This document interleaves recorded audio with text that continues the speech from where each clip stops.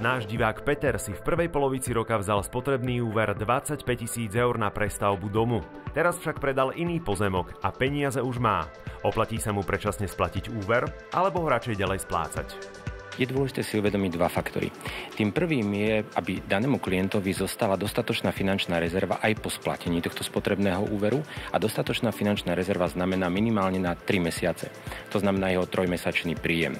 Ten druhým faktorom je uvedomiť si, koľko vlastne banke zaplatím, ak si ten úver nechám, čo vyjadruje ročná percentuálna miera nákladov, v čom sú v súčte všetky náklady, ktoré by som banke splatil.